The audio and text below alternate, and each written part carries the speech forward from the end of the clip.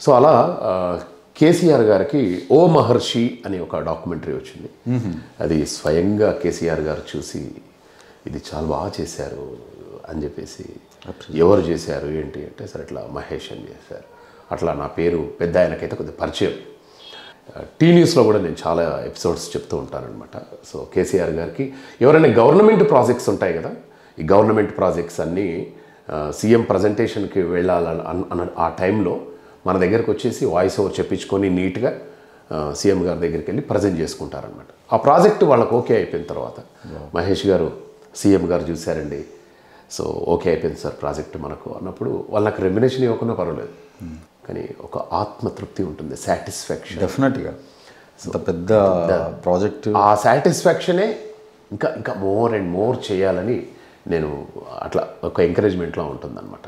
కేసీఆర్ గారికి ఒక ఏవి చెప్పాల్సి వచ్చింది ఒక వాయిస్ చెప్పాల్సి వచ్చినప్పుడు అవిశ్రాంత పోరాట యోధుడు దశాబ్దానికి పైగా నిర్విరామంగా పోరాడిన నిత్య కృషి వలుడు ప్రత్యేక తెలంగాణ సాధించి పెట్టి తెలంగాణ రాష్ట్ర జాతిపితగా అభిమానులు పిలుచుకున్న తాను మాత్రం ప్రతి తల్లికి బిడ్డను మాత్రమే అని సగర్వంగా చెప్పుకోగలిగే మానవతామూర్తి కేసీఆర్. అని చెప్పేసి. ఇక లక్షలాది మంది ప్రజలు ఎలా ఉంటారు ఇంకా అక్కడ సభలో. సభలో ఉండే అసలు ఉండే అంటే ప్రచార సాధనాలకు జెండాలు ఎగరేయటమే.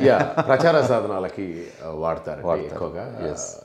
సీఎం గారు వస్తున్నారు. ఇప్పుడు ఏవి వాళ్ళది మీటింగ్స్ జరుగుతుంటాయి కదా.